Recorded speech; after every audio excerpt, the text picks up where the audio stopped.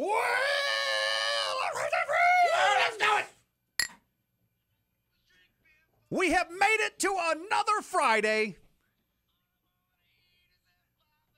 The original, often duplicated, never imitated. Oh, it's the other way around. You messed it up. Whatever. The often imitated, never duplicated. Sure.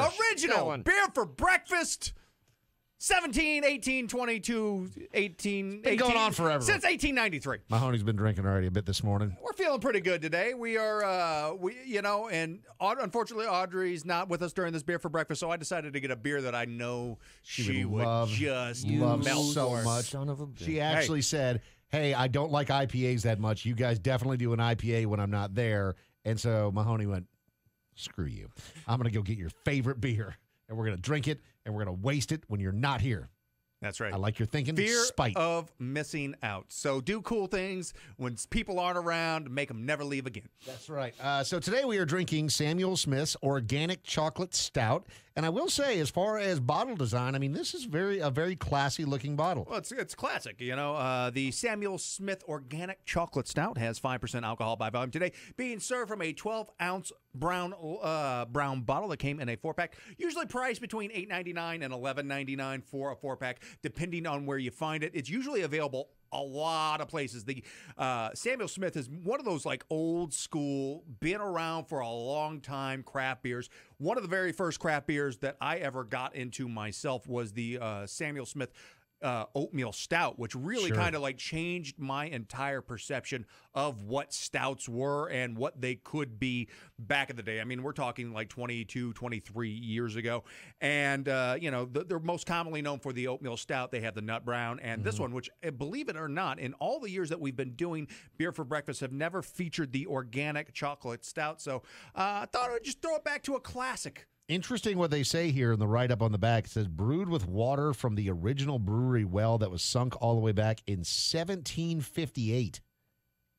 Some uh, old ass water. That's old Old ass ass well water. water. Is that good? Yeah. I don't know. Do we want old ass water like that? It's, uh, Sam. it's aged, Ugh. Dave. No, I mean it's fresh. Uh, So the other thing that's fresh well interesting is that this is only 5% alcohol by volume, right? So it's pretty light. That's real awesome. easy to drink, even though it looks dark and it looks scary, it looks intimidating. Uh, to those of you who don't know, uh, it is not the five categories in which we rate every single beer here on Beer for Breakfast. Look, smell, taste, feel, and drinkability is how we rate every single beer that we drink. And starting off with the look, the Samuel Smith Organic Chocolate Stout. Deep dark black body, I mean, or the darkest brown that you'll ever see. About two fingers of a burnt leathery brown head that faded uh, about 45 seconds, leaving behind a lot of dark, sticky lacing. Uh, let's move on to the smell because, man, this one is odoriferous, Oh, yes, my friends. is. I mean, just take a big whiff of the organic chocolate stout from Sam Smith. I'm just not getting a big nose in that. Are you? Oh, yeah. Oh yeah, Dude, shut up, Dave. dude, this is great. chocolate. Shut up. Chocolate Man. as hell. Shut up.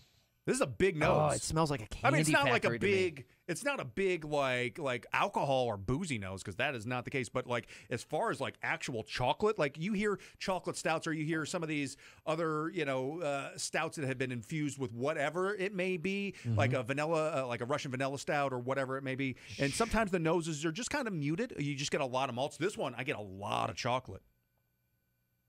That's all I get. It's just chocolate. Mm-hmm. chocolate, a Yeah, yeah. little bit of coffee, zero alcohol present in the nose. But for me, I'm I'm a chocolate fan. I know you're not a huge chocolate fan, Dave. Nope. But for me, this is a very very, and it's not like queenly sweet either, or you know, like because sometimes like when you have like a candy uh scent to it they can be uh, a little bit overpowering but this one doesn't this one doesn't bother me it's like i could just sniff this i could wear this as a cologne and i would No, be- you wouldn't. Could you wear this on the back of your knees? I could, Dave. The uh, the knee pits, which is uh, we need to talk about uh, places you need to put deodorant. All those all those bins in your body sweat. Your knee pits do not need to smell like chocolate. All the pits. Oh God, that makes me so. A sick. chocolatey delight. What about the what 90210's peach pit, where they used to hang out? If anybody yeah. rememers, Yeah, Sick that reference. deodorize that. that's right. Uh, let's uh, move on to our favorite part on beer for breakfast, which is the taste. Cheers, friends. Hey, Cheers. un- unfo- you know, uh, we, we'll drink this in Audrey's honor. On wait, wait. What on on, her, On- on on her- her on her? on her? No, let's not on uh, get on her. That's no illegal. honor. Honor, yes. Honor. It's illegal. because I know she would like this one. So cheers. Cheers, friends. God, you keep on ruining Why it. you do that? Stop, man. God. It's really good. Not everybody can see what we're doing, so I just want to make you sure just that said people, let's take a drink. I think that people get it. It, it's Foley, Dave. I mean, do you not Got it. remember the early days of radio when they would have like team? of the mind. Yeah, it's the shadow. okay, uh, Dave, you're traditionally more of an IPA guy. Uh, what are your initial thoughts on Samuel Smith's organic chocolate stout? I'm not a big fan. I, Whoa. I, I, I, it tastes like kind of flat Dr Pepper to me.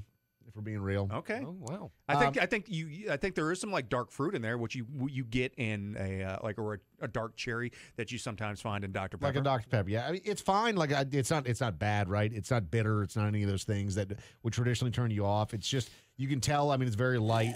You know, I like my beers to have a little bit of a punch to them with the alcohol. I, I enjoy that in beers. I know everyone doesn't, but for me personally, I do. And this doesn't have any of the alcohol in it. I'm not a sweet guy. It, it just tastes kind of sweet to me.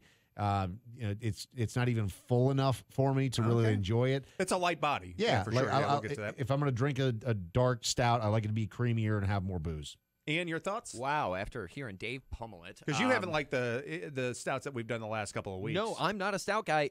I will say this, Mahoney, this is my favorite stout we have ever featured on Beer for Breakfast. I love everything about this from the smell to the look to the taste. It is right up my alley. It's not uh, the ABV is just perfect for me. Yep. The artwork to me just reminds me of like an old dive bar, the kind of stuff you see on the I want to get my last name tattooed on my back with the uh, with the with this In this font, you should just get Samuel Smith yeah, tattooed can- on your back. yeah, back. do that instead. Also, I don't like how, how they call it organic chocolate stout. I feel like organic is uh, kind of overused and doesn't really mean anything. I mean, this beer's been around a long time before Yeah. we were even like using organic to describe things. Uh, so Ian's a fan, and for me, I get you get those big hits of chocolate, not as much as in the nose. I mean, the nose is incredibly chocolate, but there's big chocolate up front. The malts there, that dark fruit undertone, that, or that undercurrent of dark fruit, I really like. It kind of gives it a nice balance to it, so you get uh, a little bit of a bitter bite, but the the finish is very enjoyable as well. Zero alcohol, not too sweet, almost like the, uh, a molasses uh, in there somewhere as well. I, I'm, I'm getting, but overall, I think this is a classic stout. And if you are maybe not the uh, biggest uh, fan of stouts or dark beers, this could be a great gateway stout. I think. Uh, I think Sam Smith has done a. You know, Samuel Smith has put out a great line of beers over the years. They're, they're you know, you can find them grocery stores, some gas stations. They, they're all over the place, and I uh, I'm a fan. The mouthfeel, uh, I think heavy light to uh, light medium bodied uh, in there. It's lightly carbonated, as you said, Dave. You, you feel it's kind of flat. Uh, I feel like there's a, a light creaminess to it as well. Uh, the drinkability for me, like every beer that Samuel Smith puts out, I think this is an excellent, excellent representation of chocolate stouts. Personally, uh, I think the stout can be uh, enjoyed year round. Goes really well. I would love to be eating some barbecue with this. Just give me a, a some some dry rub ribs, or give me some pulled pork, and throw some uh you know like uh, a mustard based barbecue sauce on this, and I would be in heaven. Overall, if you haven't checked out this classic, I recommend you do so. Can I get a drum roll? there you go.